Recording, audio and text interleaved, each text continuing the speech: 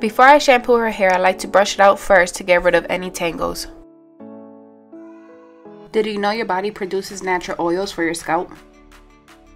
Brushing is a good way to distribute natural oils through the hair to the ends. Brushing also helps increase blood flow and transport oxygen and nutrients to the hair follicles, making the hair stronger, more resistant, and shinier.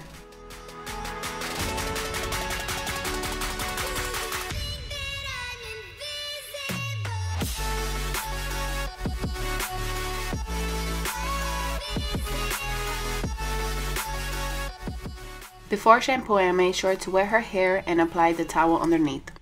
Every strand needs to be soaking wet in order to get a deep clean.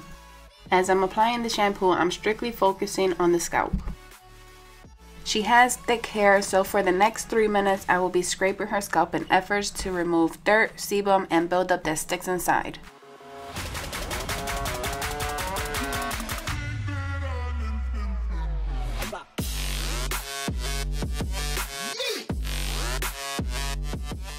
Now I'm going to rinse off the shampoo and move on to the next step.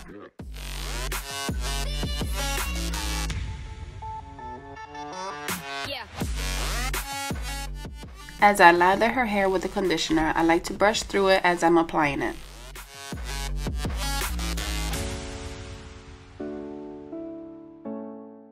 Now I'm going to rinse off the conditioner and move on to the last step.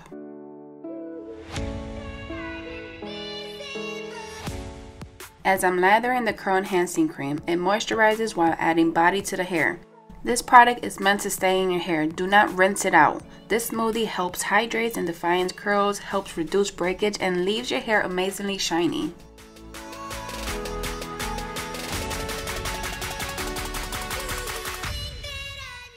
Now I'm using a diffuser because I want to add volume and more body while maintaining her curls without any frizz.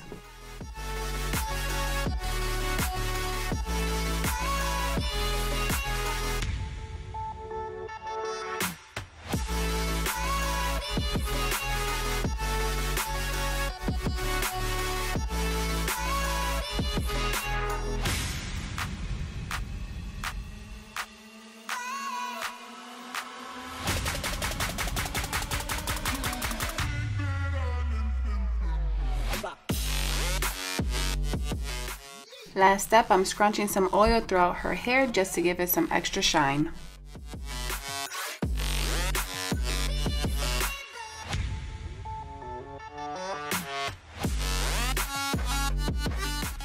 And we're done. Here's the final look. What an amazing difference. You can actually see her curl pattern. I hope you enjoyed this tutorial. Feel free to leave a comment below and thanks for watching.